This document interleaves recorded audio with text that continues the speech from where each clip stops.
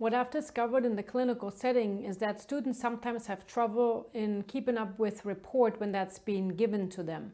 So here are a few exercises that will help you prepare and get familiar with taking report and medical abbreviations so that you can be faster in jotting those that information down and then also become more used to using these medical abbreviations.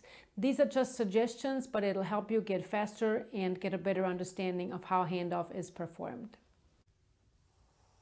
Mr. Smith in room 502 is a 78 year old male who had an ORIF of the left hip two days ago. He fell while he was walking his dog because he tripped over the leash. Uh, past medical history includes hypertension, diabetes, high cholesterol, osteoarthritis. He is a smoker and he says he drinks about one to two beers every night.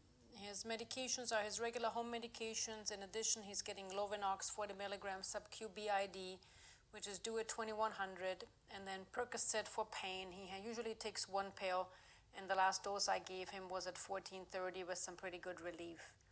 He's A&O times 4, his lungs are clear, his belly is soft, he's eating well, he voids in his urinal, he's up with PT. I saw him walk down the hall for a few steps and he did pretty well. Surgical side to the left hip uh, has a dressing, is clean, dry, and intact. He has an IV saline lock to the left forearm, 20 gauge. That looks looks good. He's uh, on a diabetic diet, and like I said, he's been eating well. Blood sugars for me were 106, 189, and 153, so I didn't give him any dinner coverage. So what needs to be done for him? So PRN pain meds, he can have it again uh, six hours, so at 8:30. Uh, get him up with PT. You might want to get him up to sit um, and watch TV at night. And he's actually able to call for assistance in case he needs anything.